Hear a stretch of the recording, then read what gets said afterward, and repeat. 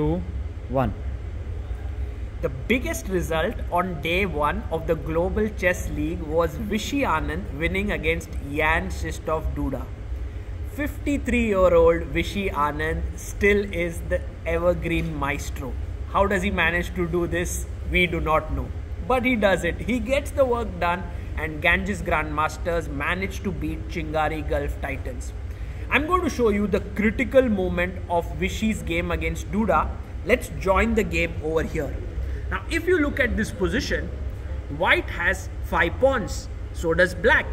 But white has this beautiful knight here, all ready to either jump in the center on d5 or f5.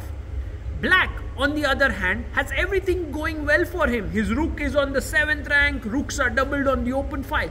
The only problem is the king. The king on g6 is very weak.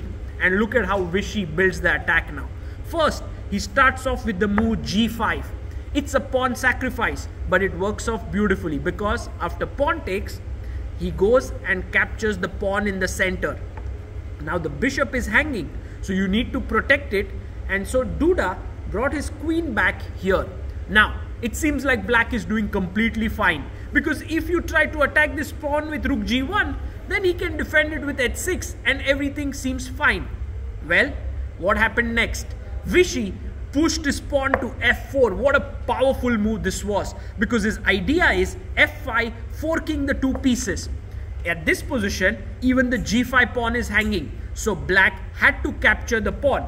Now, if you gave this check, which was the most natural move, then the king would have gone back, check, and the king goes here. At least for the time being, black is surviving. This is still losing, but he can survive. So what did Anand do? He first, instead of giving this check, moved his knight in the center. His point is, he wants to give this check with the queen. And so, Duda captured with his bishop, but what he forgot was that now the bishop is no longer blocking the e file and after king moved here rook coming down king back and queen in is a checkmate. And in this way Vishy Anand beat Jan of Duda giving the Ganges Grandmaster a very important victory.